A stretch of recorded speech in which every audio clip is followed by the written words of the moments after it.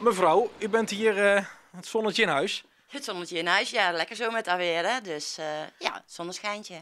U speciaal voor, voor vandaag de naam van de winkel eh, aangepast. Nee joh, die staat er al een paar maanden op. Dus het is een eh, creatief spiritueel centrum. En eh, ja, genaamd het zonneschijntje. En niet alleen deze vrouw straalde dinsdag. Iedereen leek wel toe aan het warme weer.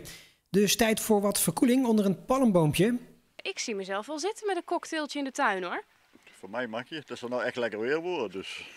Worden ze een beetje goed verkocht? Nou, het is een paar jaar geleden een hele hype geweest. Maar de laatste tijd is het wat minder met de palmen.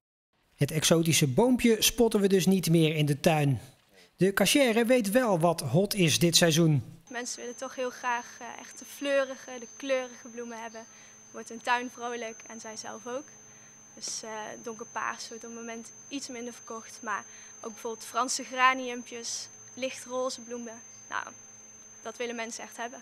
Maar of de tuin opknappen nu het eerste is waar je aan denkt bij deze lekkere temperaturen? Wat is nou volgens jou de ideale zomerdag? Waar bestaat die uit? Jils. beetje eten, lekker buiten uit de zon, onder de parasol. Koud pilsje, fantastisch toch? Ik denk dat we hier, zolang het mooi weer is, blijven we hier vandaag. Ik vond het persoonlijk nog niet heel erg druk. Nee, maar dat komt wel. Hè. Als wij er dag zijn, dan maken we wat plezier. Dan komen de mensen vanzelf. En nou weten ze het allemaal, hè? De badpakken en de bikinis eh, zijn nog niet uit de kast Dat getrokken. was ook niet de bedoeling. Ook niet een duik in het water Nee, zometeen. nee, nee, absoluut niet. Nee. Is dit nu voor het eerst dat u in het water staat? Nu wel, dit, dit jaar. En bevalt het weer? Ja, het is niet echt koud. Nee. Dat het warme weer niet alleen maar lol oplevert, dat zie je zo meteen.